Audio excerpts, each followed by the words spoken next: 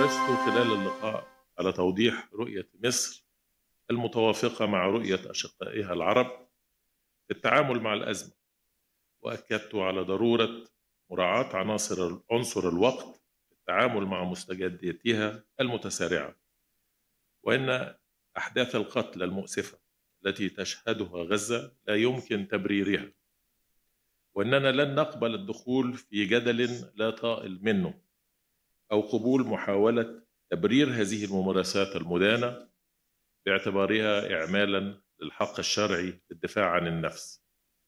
سياسة العقاب الجماعي واستهداف إسرائيل للمدنيين والأبرياء والمنشآت المدنية والطبية وفرق الإنقاذ بالإضافة لمحاولات التهجير القسري للفلسطينيين من أرضهم لا يمكن أن تكون دفاعا شرعيا عن النفس بأي حال.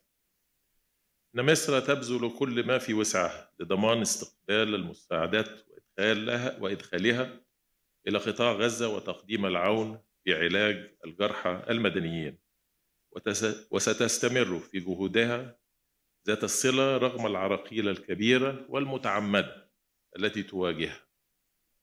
وفي هذا السياق شددت على حتمية تحقيق توافق فوري وشامل وقف فوري وشامل لإطلاق النار في غزة دون قيد أو شرط وأن تقلع إسرائيل عن مخلفاتها المتكررة لقواعد القانون الدولي الإنساني وقوانين الحرب.